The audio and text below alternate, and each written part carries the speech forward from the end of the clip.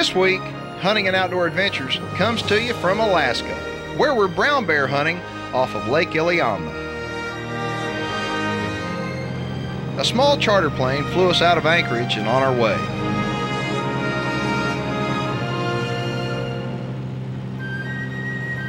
Awed by the soaring peaks that stretched out around us, it seemed like no time before we were landing at Pedro Bay.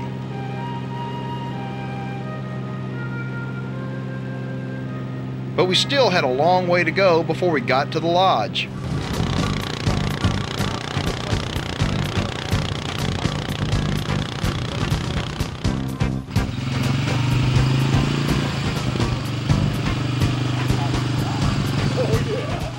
This bouncy ride behind the four wheeler was just to get us to the shore so we could jump on a boat and zip across the bay.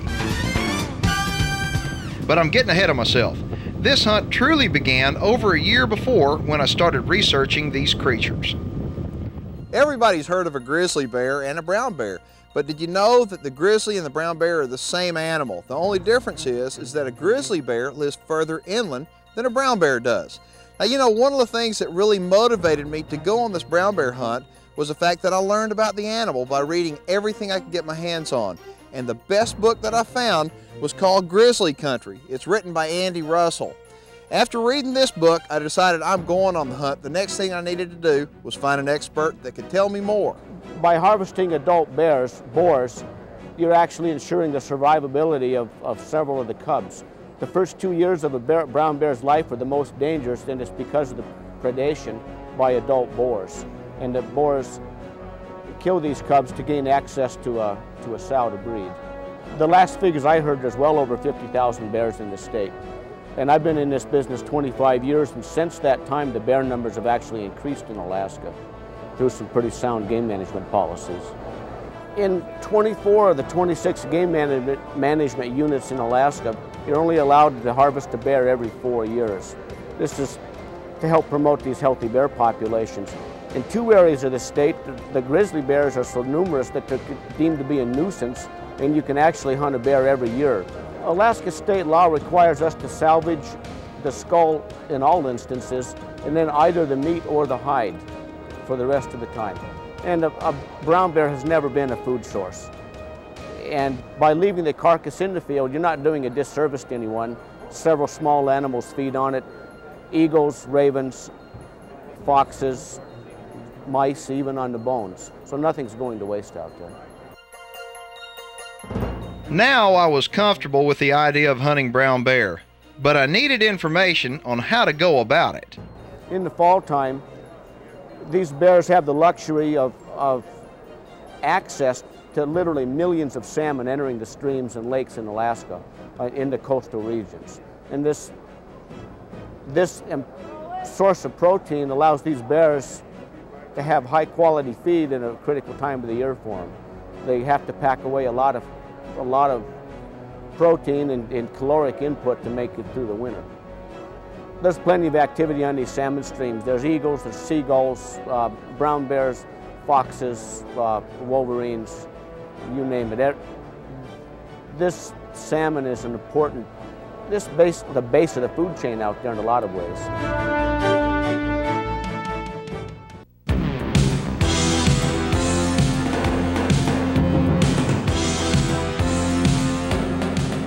Stick around for more sights and sounds from Alaska. You won't want to miss this one. The most successful hunting method for brown bears in the fall is the spot and stalk method. You locate yourself near some suitable habitat, like a stream or uh, a beach or something like that, and spend a lot of time on the knob with your glass, with your field glasses, inspecting the surrounding area. And that's exactly what we did.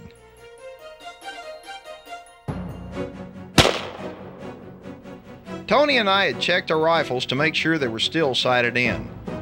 That shot was about an inch to an inch and a half to the right, about perfect elevation. That's good enough for a big old bear. It's been my experience. I prefer to see my clients come up with a, uh, a minimum of, of a 300 Magnum. And, and up. And, and in my mind, a 375 is probably the optimum caliber for brown bear hunting. It was still dark when we were dropped off on the beach, but we managed to climb to the top of the ridge in time to see the sun begin its slow rise up from behind the distant peaks. We could see for miles from this vantage point, and all around us were small coves and inlets off the main lake. The perfect place to find a big old bear. I'd been up here a few months before fishing for trout with Jerry Pippin from Rainbow Bay Resort. Jerry works with a licensed bear guide and invited me on this hunt. The salmon were running strong then, and I hoped they'd hold on until I came back. We were pleased to find out that some of the sockeyes had stuck around. Amazingly, we could see a group of them milling just below the surface, even though we were positioned hundreds of feet above the bay.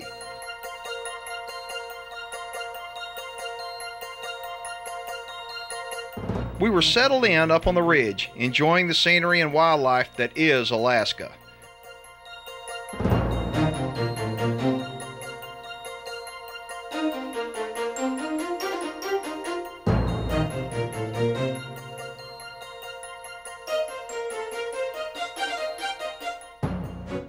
Iliamna Lake is one of the two places in the world to boast a population of these guys, freshwater seals. Just as I was starting to think it can't get any better than this, it got a lot better.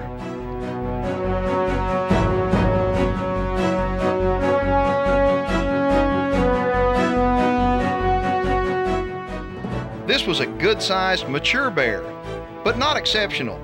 Besides, it was the first day of the hunt, so we all agreed to just watch.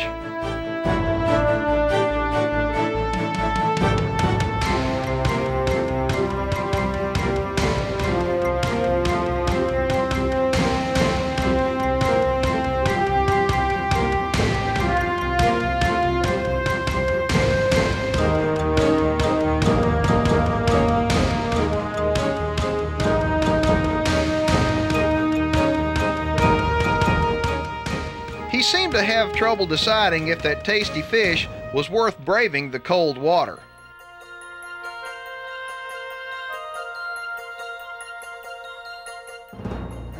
I guess his stomach got the better of him.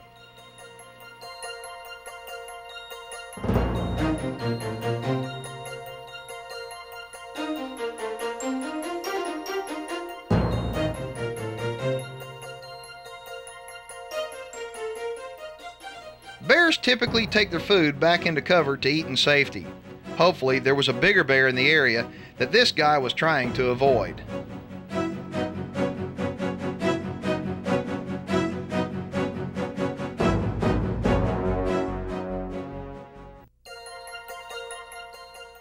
We didn't have to wait long for the brush to rustle again, but it was the same bear coming back for a second course.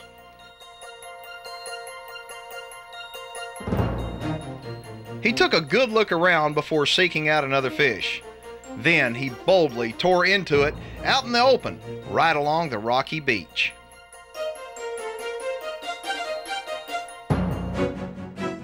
He made his way down the shore towards us to snatch a third fish.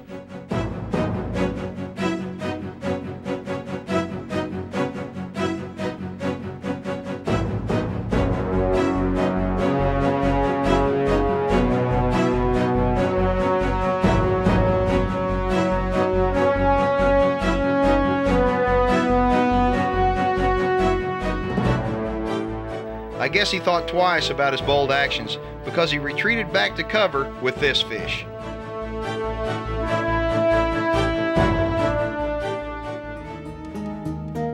What better way to round out an incredible day than a spectacular Alaskan sunset?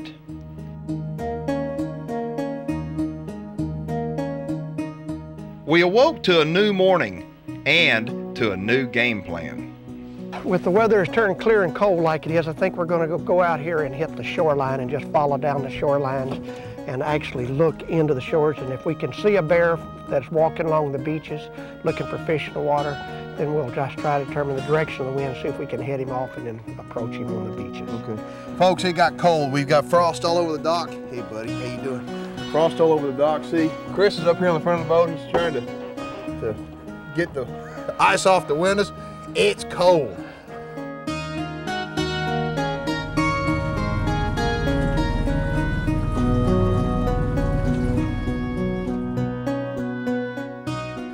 Beach has a bunch of floaters on it, and the bears will get out here and walk around and here's some tracks. Here's a real nice visible track. You can see his toe marks right here. It's not real big, but that's a that's a nice visible track. And he put another paw right here and just kind of walking down the beach. There's a bunch of blow down logs up here on the beach, and these bears will get out here and walk through here and look for these fish that are floated up.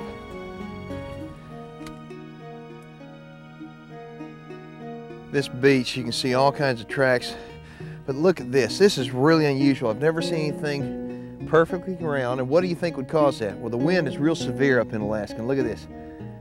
The wind blows this around and it creates a perfectly round little track right here. You can also see, look, these little bird tracks right through here. So you can tell with the sand the way it is, if there's a bear that's been moving on this beach, we're gonna be able to tell if he's a big one or not.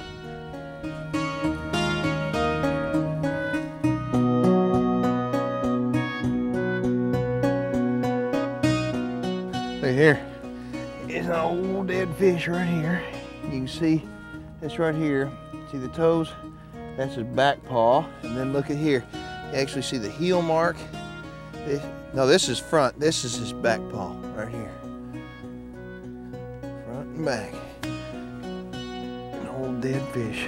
Somebody at home may be thinking, oh, doesn't that stink? Folks, it's so cold up here. It doesn't stink. It's like it's in a refrigerator.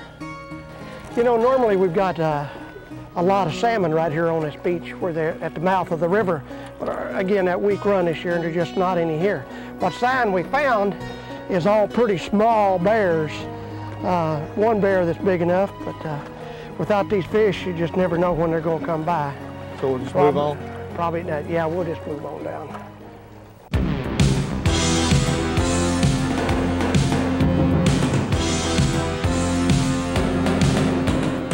We'll be back with more Alaskan adventure. Don't miss this one.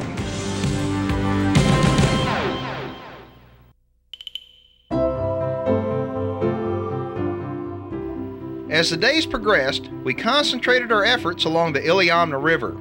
The greatest density of salmon seemed to be here. We were finding sign and we were encouraged by the success of our fellow hunters, three buddies from Minnesota.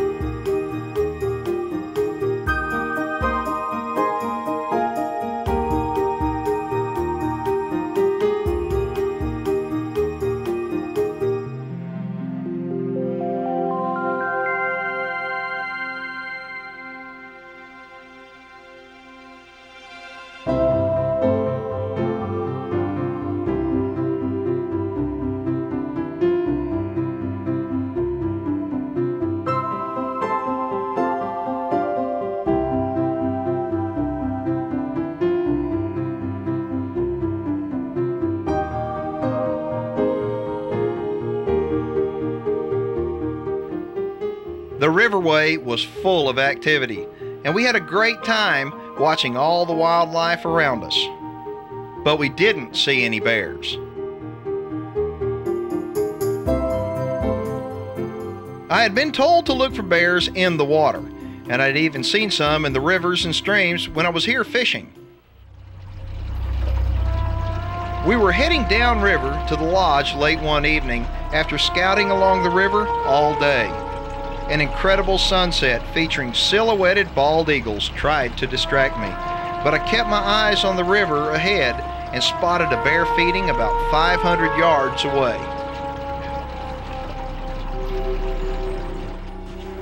We quickly made our way to the shore and then headed towards a bear on foot.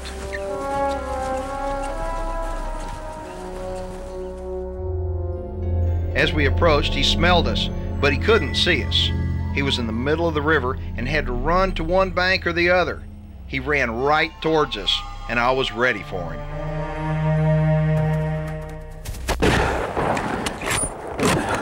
What a shot! What a shot! I'll tell you what, that is the biggest trophy I've ever taken, Jerry. Uh, that was that. You see how close we got to Yeah, I know. I knew he was going to I smell knew he was gonna smell it. I mean, we were drifting down the river. We have hunted this booger. This is a wonderful, wonderful animal. And folks, let me tell you one thing. This is a 300 Win Mag. It's a Browning 300 Win Mag. And this right here, a lot of people say it was too small a gun to come after a big old brown bear like this with. But you know what? It did the trick. As long as you hit them where they live, they're going to go down. Running, one shot, bam, down he goes. Look at him.